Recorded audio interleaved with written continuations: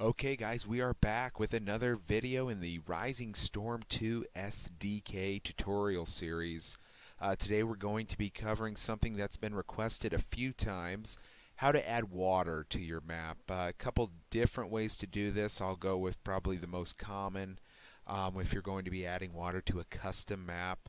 Uh, I've got the jungle camp map loaded up here. Um, if you're familiar with this map, it has some little streams around the edges uh, cut through it and so forth.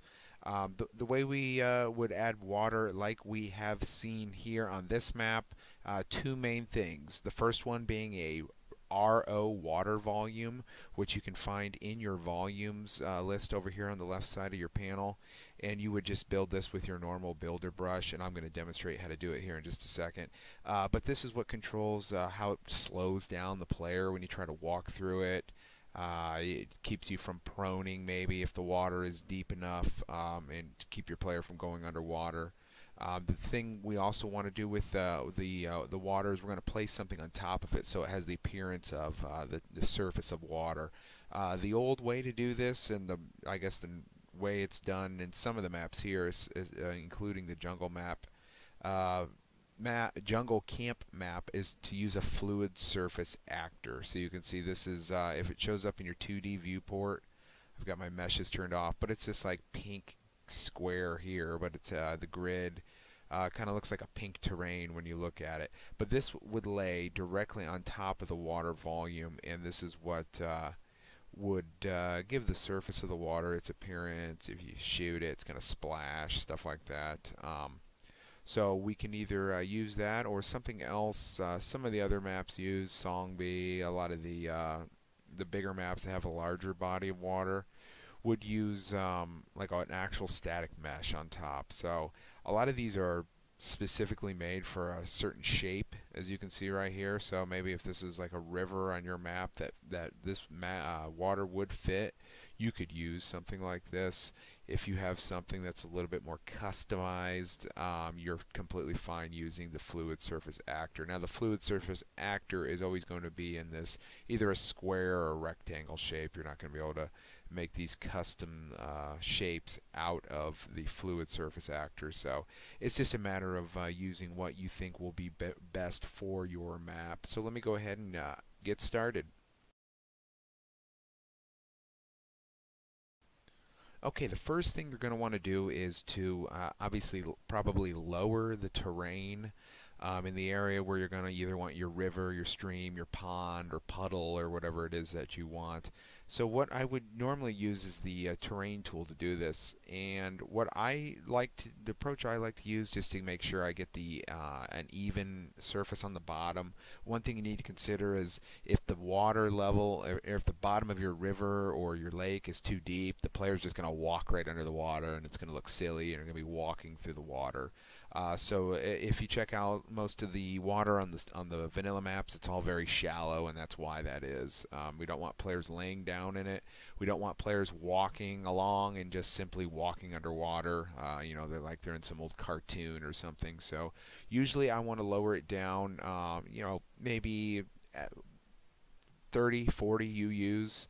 Uh, you know, we can play with it. Maybe 50 if we uh, if we're feeling a little uh, ambitious, but uh, what you're going to want to do is test it once you get it all done. So we will do that. But what I like to do is to see what what is the height of my terrain right now. So I can go into my terrain properties, I click on it and hit F4, or I can just double click on it.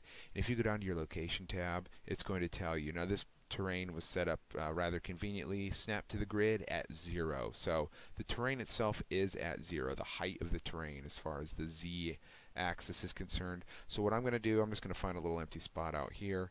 I'm going to grab my terrain tool.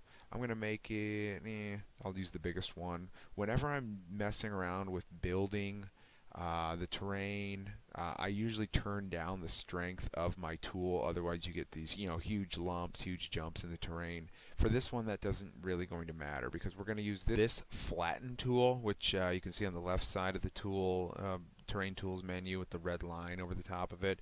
Um, I'm just going to go ahead and click that. Now I'm going to set the height that I want to lower the terrain down to. So Uh, for this option, I'm going to go a little bit deeper, and then what I'm going to do is lower the water. So we'll do negative 70. Uh, if you'll remember in the game, most of your uh, the, the player itself is between 90 and 100. Uh, UUs tall, so you know anything over over 70 or 80, you're going to be underwater. But I want to lower it a little bit lower. I'm not going to have the water even with the top of the terrain, so we'll play with this a little bit and just see where it gets us. But I'm going to switch over to wireframe view. It's a little bit easier to see uh, when you're manipulating the terrain. Uh, I've got my uh, flatten tool selected here, negative 70. Now I'm just going to hold down uh, control and I'm going to left click. And as you can see, it's going to lower everywhere I touch to negative 70. So we'll do that. Now what I normally like to do, you know, this isn't most uh, bodies of water, I guess we'll just pretend this is a lake for now rather than a river, but you know, most bodies of water are not going to be this uh, steep here on the edges. So a lot of times what I'll do is grab my smoothing tool, maybe lower down the strength just a hair so I can at least uh, control it a little bit. I'm just going to hold down control and then left click around these edges, smooth out these edges a little bit. And once I go back into uh, unlit mode, you'll be able to to see exactly how that looks a little bit better. But we at least have a little dip in the terrain. You know, maybe a pond might be a little bit uh, lower than that. Oop, and as you can see, I've got a this thing poking through the bottom. I'm just going to lower this down because this is more for uh, decoration than anything else. But you know, lower that down a little bit. So here we can see we've added the uh, little dip in the terrain. Now what I want to do is go ahead and add my uh, RO water volume. So in order to do that, we're going to need the brush tool. We can switch to our uh, geometry mode if it makes it a little bit easier. We can build a brush if we want to. I've already got one over here somewhere. Let's see. Is this it? Yeah. So I'm going to drag that over here. Now for this, uh, the thickness of it isn't too important because it can go under the terrain. It's not a big deal.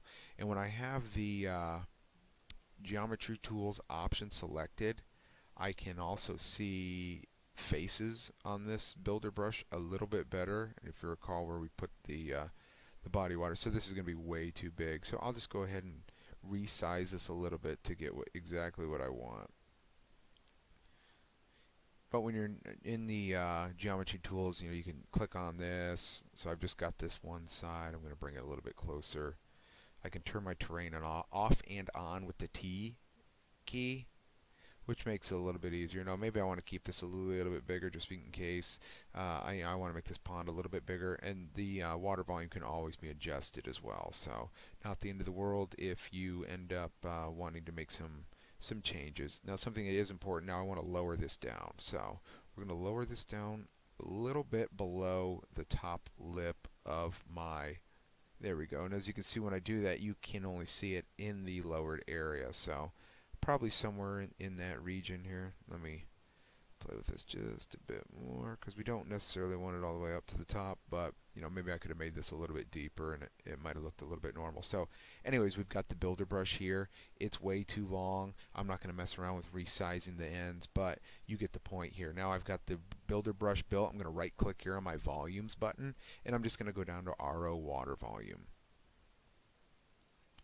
and that converts my builder brush now into the RO water volume and let me just get this out of the way. You won't be able to see it until you move your builder brush, but there it is right there. So there's my water volume. And once again, since I'm in geometry tools, I can play with this.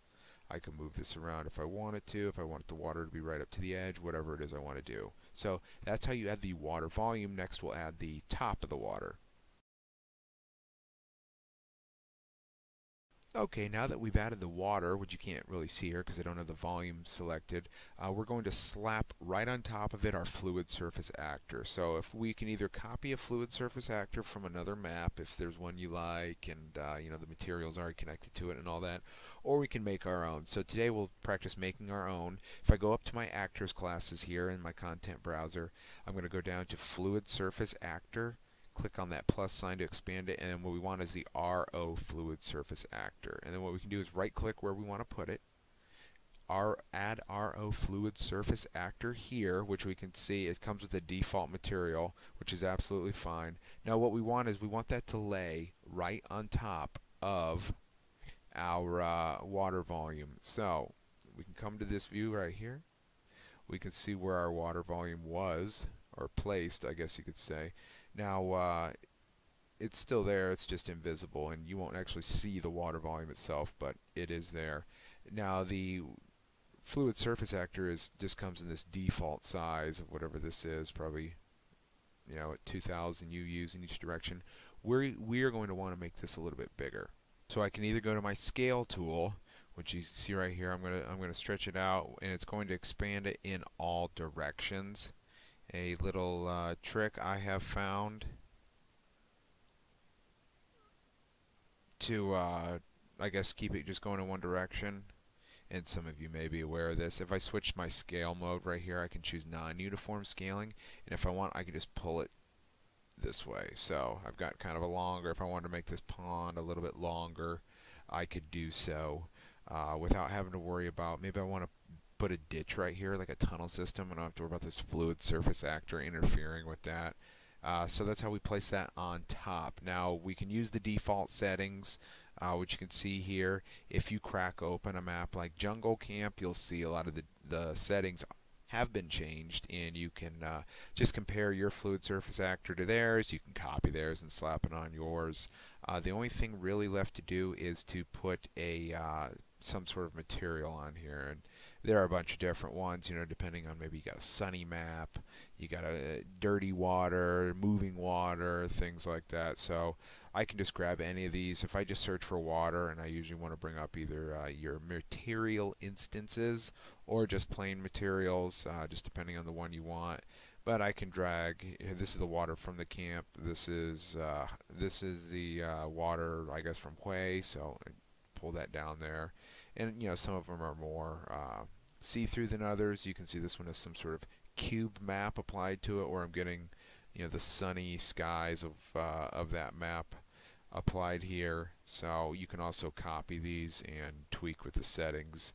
If you want to uh, use it as your own, you know, you can change a lot of the fog, how transparent the water is, and things like that. So uh, what we'll do real quick, I'm going to save, and then we'll just jump into the map and see how uh, it reacts to different things. So we will run up to uh, the water we created here. Uh, a lot of times too, maybe I'd switch the terrain material around the water and under the water, give it more of a uh, like a wet look or something like that. But as you can see, I can shoot it. It's reacting appropriately. Um, we'll see if we can, if it'll let us. See, it's not going to let me. It'll let me crouch because the water's not that deep, but it's not going to let me prone. I'm hitting uh, hitting my prone key here, and it's just not going to let me. Uh, a lot of times it'll also give you a warning. But uh, so we've got that. The only last thing to try, maybe try throwing a grenade on it. Now, one thing we didn't do, oh, it didn't matter. Let's change the, the collision, but uh, that did not seem to matter here. Now, sometimes you do get some of this weird splashing up high, uh, and a lot of that might just be the fact that we're playing this in PIE. So something to test, uh, you know, later on. But that's uh, pretty much sums up how you complete uh, the water, add water to your map. You can uh, you can make it a river, stream, things like that. So uh, play around with a little bit. As always, if you have any questions, please feel free to comment below. I uh, try to try to respond uh, promptly. Or join us here in the modding Discord for Rising Storm 2. I've got the address uh, linked right here, and I'll put it in the description as well. So, uh, as always, uh, thanks for watching, and uh, we'll have more tutorials here coming up soon. Thank you.